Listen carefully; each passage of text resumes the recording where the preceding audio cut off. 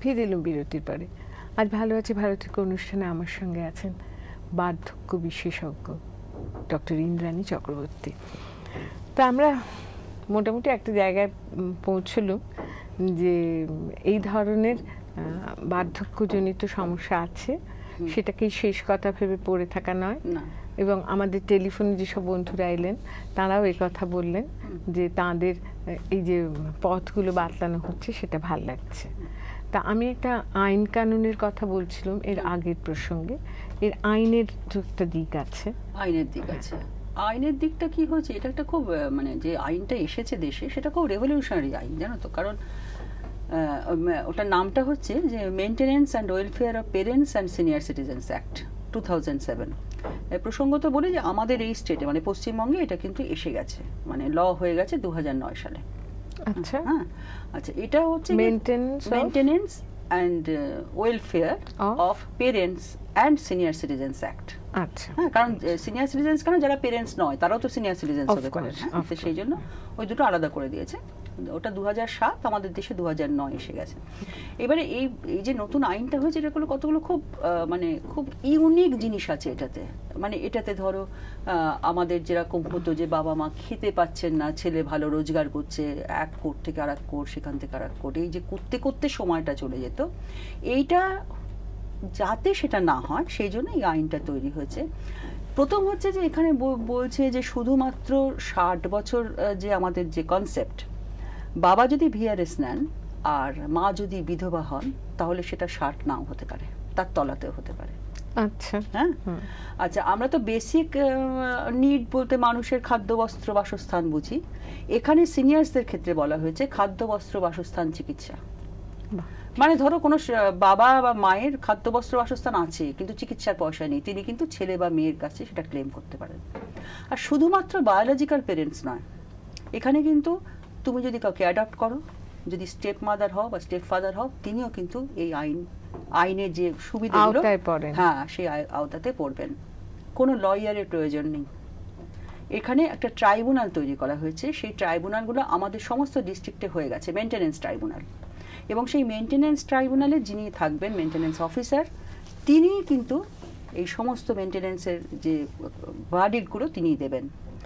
আর lawyer কোনো দরকার নেই কারণ ধরো এটা যে কেউ তুমি ধরো দেখছ যে তোমার পাশের বাড়িতে কাউকে খেতে দেওয়া হচ্ছে না বাবা মাকে কিন্তু ছেলে ভালো রোজগার করে সেটা তুমিও বলতে পারো ট্রাইব্যুনালে যেতে পারো। তিনি তো পারেনি কোনো অর্গানাইজেশন যেতে পারে অথবা ট্রাইব্যুনাল নিজে থেকে এসে সুয়োমোটো কেস নিতে পারে। আচ্ছা? মানে তুমি ট্রাইব্যুনালকে জানালে যে এরকম আমার পাশের বাড়িতে এরকম একটা ঘটনা ঘটছে তখন ট্রাইব্যুনালেই ট্রাইব্যুনাল থেকেই মানুষজন এসে কনসিলিয়েশন অফিসার ইত্যাদি এসে সেই কেসটাকে নিয়ে নেবে।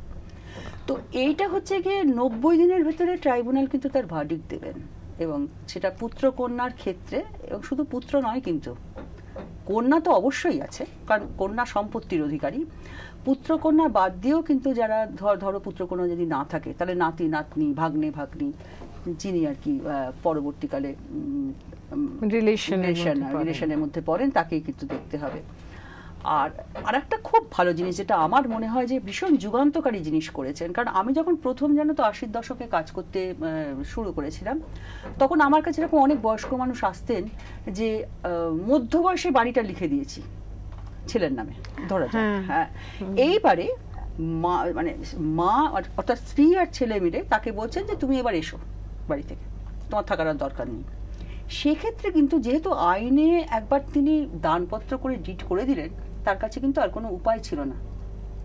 বুঝেছ? তাহলে সেই ক্ষেত্রে আমাদের এরকম অনেকবার হয়েছে যে আমরা ওল্ড এজ হোমে বলে তাদেরকে সে পাঠিয়ে দিয়েছি বা খুবই দুঃখজনক ঘটনা তো নতুন আইনে সেটা বলা হয়েছে যেহেতু আইনটার প্রসেসের মধ্যে আমি আছি তো এই আইনে প্রথম বলা হয়েছে যে যদি ধরো এই এক্সপেকটেশনে কোনো বাবা ছেলের নামে বা মা ছেলের নামে বাড়ি লিখে দেন যে এক্সপেকটেশনটা হচ্ছে যে তাকে ওরা দেখবে কিন্তু তো সে দেখল না দেখছে না তাহলে কিন্তু ট্রাইব্যুনালের কাছে সেই ক্ষমতা দেওয়া হয়েছে সেই দানপত্রটা বাতিল হবে। আর বাহ। প্রপার্টিটা ফিরে যাবে সেই বাবা মার সিনিয়র সিটিজেনের কাছে। বাহ। এইটা এগুলো খুব ইউনিক জিনিস করেছে আর কি এটার মধ্যে। আসলে এইগুলোই না বলা উচিত প্রচার হ্যাঁ, করা উচিত। এগুলো কত লোক জানে কত এবং এই যে নতুন আইনটা হয়েছে না এটা আমাদের যেহেতু মানে ভারত সরকারের প্রতিনিধি হিসেবে আমাদের বলছে যে সমস্ত stakeholders of the society গণমাধ্যম তো বটেই। তার ভিতরে প্রচার করো। যে দেখো আমরা তো জোর করে শ্রদ্ধা ভালোবাসা এগুলো নিতে পারি না ছেলে না না না এগুলো অর্জন করার জিনিস কেউ কেউ হ্যাঁ, পারে কেউ পারে পারে না। এবারে যদি ধরো আমি পারলাম না কিন্তু আমি দেখতে পাচ্ছি যে মা বাবার সাধ্য নেই তার বেসিক নিডসটা ফুলফিল করার। কিন্তু ছেলে বিরাট চাকরি করে। অন্তত সেটুকু তো আমরা আদায় করতে পারব। সেই রাস্তাটা তো সমাজ হ্যাঁ, করে দেবে। সোজা আঙুলে ঘি না উঠলে আমাদের বেঁকিয়ে হ্যাঁ, তুলতে। হবে। সেটা তো সমাজ আমি কুসন্তানের একটি জন্ম দিয়েছি যখন তখন সেভাবেই আমাকে সেভাবেই আমাকে করতে হবে কিন্তু এটা দিতেই হবে না হলে জেল জরিমানা অথবা দুটোই হবে। এটা হচ্ছে মেনটেনেন্স বা এটা খুব জরুরি কথা তুমি আজকে বললে মানে আমিও হয়তো প্রয়োজন হয়নি বলে এত ডিটেল এটা জানতুম না শুনেছি হ্যাঁ, আইন হয়েছে। হ্যাঁ। এই আইনটা খুব যুগান্তকারী এবং এটার সঙ্গে একটা কথা বলা হয়েছে ধরো আমরা যে সমস্ত মাসুমা মেসমশাইদের দেখি যাদের কেউ নেই তুমি যদি তাদের ছেলেদের গিয়ে বলো যে তোমার বাবা মাকে দেখতে হবে তা না হলে জেল হবে। সে বলবে যে হ্যাঁ জেলে ধরে নিয়ে যাক। কারণ আমি, আমার, আমি তো নিজেই খেতে পারি না, আমার স্ত্রীকে খাওয়াতে পারি না, ছেলে, বাচ্চাদের খাওয়াতে পারি না। তো বাবা মা তো surplus member of the house hold সবার শেষে কিছু থাকলে বাবা মা খাবে। তো সেইখানে কি হবে? এরা কিন্তু one third of our population এদের কথা ভুললে চলবে না। মানে যত ধরো আমাদের দেশে যদি আশি লাখ থাকেন, তার ওয়ান থার্ড হচ্ছে কিন্তু বিলো পভার্টি লেভেল তাদের জন্য সরকার বলেছেন ফার্স্ট পার্টটা কিন্তু ইমপ্লিমেন্টেড হয়ে গেছে মেনটেন্যান্স পার্ট এইটা হচ্ছে বৃদ্ধাবাস হবে প্রত্যেকটা ডিস্ট্রিক্টে বৃদ্ধাবাস। প্রত্যেকটা ডিস্ট্রিক্টে আর একটু ডিটেলে শুনব একটা ফোন ধরে নি। হ্যাঁ বলুন উর্মিমালা বলছে। হ্যাঁ হ্যালো হ্যাঁ বলুন। হ্যাঁ দিদি আমি আজ বোধহয় অনেকদিন আজ বোধহয় দু বছর ধরে বাংলাকে ভালোটা পেতে ট্রাই করতে করতে এতদিনে আমি লাইনটা পেয়েছি। যাক কি কাণ্ড। পেয়ে গেলেন। হ্যাঁ আমার মানে অনেক সৌভাগ্য বলতে পারো। কারণ আপনি আপনাকে তো আমার ভীষণই ভালো লাগে। আমি সেটা মানে মানে বর্ণনা করতে পারব না। ঠিক আছে। ইন্দ্রাণী দিকে আমি আজকে বত্রিশ বছর পর দেখছি। কেন? আমি কলকাতায় হোস্টেলে পড়তাম ইন্দ্রাণীজি বোনের সাথে। আর ইন্দ্রাণীজিকে দেখে। আজ আমার চোখে জল আসছে। এত ভালো ভালো মানে উনি ছিলেন আপনি চিন্তা করতে পারবেন না। আমি ইন্দ্রাণীজি যখনই আসে আপনাদের প্রোগ্রাম তো দেখি এবং ইন্দ্রাণীজিকে যখন দেখে এত আমি ট্রাই করি আমার হাতের মুখটা ব্যথা হয়ে যায়। আমি কিছুতেই পাই না। আজকে পেয়েছেন। মানে ঠাকুরকে বলেছিল আজ আমি ট্রাই করেই যাব। সাথে কথা বলবোই। কেন আমার এত ইচ্ছে করে দুর্গাপুরে ওনারা ওনাদের বাড়ি ছিল। আমরা একসাথে হোস্টেলে থাকতাম এআইডাব্লিউসি তে। ভীষণ আচ্ছা। ওনার বোনের সাথে আমার ভাব ছিল।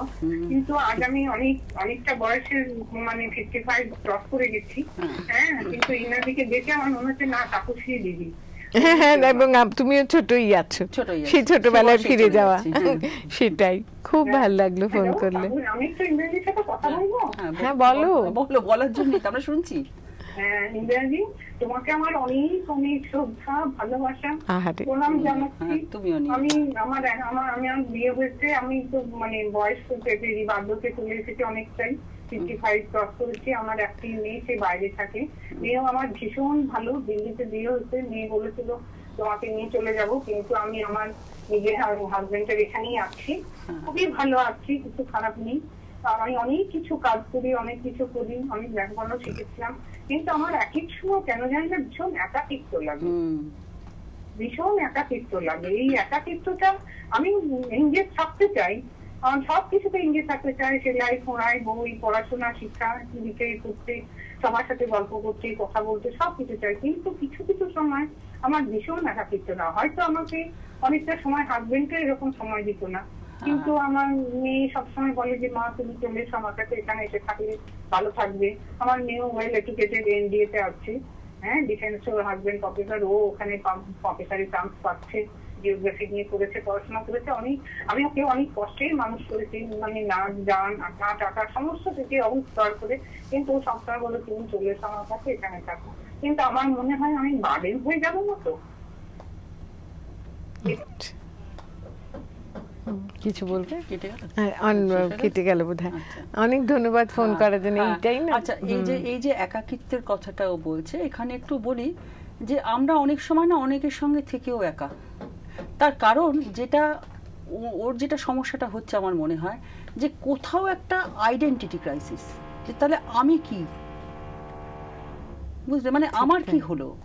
সে মেয়েকে আমি মানুষ করলাম, সবকিছু করে দিলাম, সে সেটেলড হয়ে গেল। স্বামীও নিশ্চয়ই তার জায়গাতে সেটেলড আছেন। তাহলে আমার কি হলো? এই যে দেখবে যেখানে বিশেষ করে স্বামীরা ভীষণ বড় বড় মানে জায়গায় রয়েছেন বা ভীষণ ব্যস্ত কোনো না কোনোভাবে, তাদের স্ত্রীদের একটা আইডেন্টিটি ক্রাইসিস হয়। ওই জন্য না আমরা খুব প্ল্যানিংয়ের কথাটা বলি যে তুমি কিন্তু সমস্ত কিছু, পয়সার থেকে শুরু করে সময়, সব সন্তানদের দিয়ে দিও না, স্বামীকে দিয়ে দিও না। একটু কিছু নিজের জন্য রাখো। সরিয়ে সরিয়ে একটু রাখো। যেটা দুঃসময় তোমার বন্ধু তাহলে হবে হ্যাঁ মানে গল্প গুজব সবই ঠিক আছে কিন্তু আমার মনে হয় যে বারবার বলছেন আমি অনেক পড়াশোনা করেছি। তাহলে পড়াশোনার কোনো একটা ইমপ্লিমেন্টেশন কোথাও যদি একটু আগের থেকে শুরু করা যেত না ওর কিন্তু সময় যায়নি এখনও কারণ ও বলছে বয়স্ক বয়স্ক হয়নি ওর পঞ্চান্ন বছর বয়স।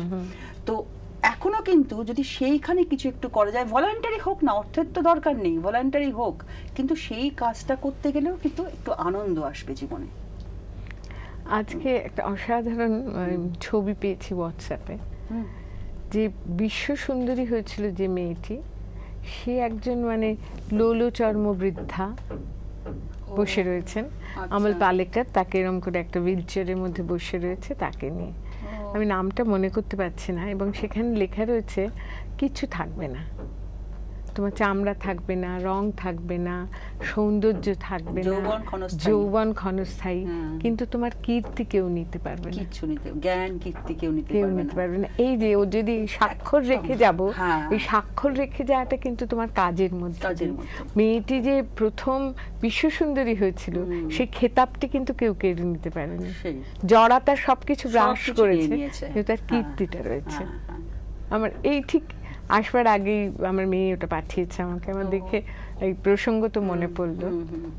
যে সত্যি তো এই ভদ্রমহিলার হ্যাঁ। এখনও কিছু সময় ফুরিয়ে সময় যায়নি অনেক সময় আছে। আমাদের এখন লঞ্জিভিটি অনেক বলে দাও তুমি দিদি হ্যাঁ, অনেক অনেক দাও। লঞ্জিভিটি আমরা অনেক দিন বাঁচবো হ্যাঁ। এক্ষুনি কেউ চলে যাচ্ছি না। হাতে অনেক সময় আছে এখনও। এখনও কিন্তু শুরু করতে পারি কিছু করার জন্য। সামনে যদি কোনো প্রতিষ্ঠান থাকে বাড়ির আশেপাশে যদি কোথাও থাকে অথবা যদি মনে দুর্গাপুরে থাকে বলুন। দুর্গাপুরে যদি বয়স্ক মানুষদের নিয়ে কোনো কিছু একটা করতে পারো যেখানে তাদেরকে সঙ্গে করে কিছু করবে বা বয়স্কই হতে হবে এরকম কোনো কথা নেই। দুজন কাউকে বাড়িতে এনে হ্যাঁ, পড়ানো যায়। হ্যাঁ, সেখান শিশুদের দুজন চারজন হবে। হবে। এবং এরকম করে তখন মনে হবে যে আমার আমার একটা প্রয়োজনীয়তা আছে জানো? আমরা একটা কথা বলি নিড টু বি নিডেড ঠিকই তাই না? নিড টু বি নিডেড তোমাকে কোথাও প্রয়োজন কারুর। ধরো তোমার যদি আজ মনে হয় যে আমার ছেলেকে ছেলের আমাকে দরকার নেই মেয়ের আমাকে দরকার নেই স্বামীর আমাকে দরকার নেই বাইরের জগতের আমার দরকার নেই সেইখানে একটা উইথড্রয়াল চলে আসবে। তাহলে আমি কিসের জন্য আছি? শুধু থাকার জন্য রয়েছি? কিন্তু কেউ যদি বলে না দিদি তোমাকে আমার হ্যাঁ, দরকার আছে আমাদের জন্য তুমি ভালো থাকো। একেবারে সেইখানে কিন্তু অনেক অসুস্থতার মধ্যে তুমি বেঁচে থাকবে। ঠিক তাই।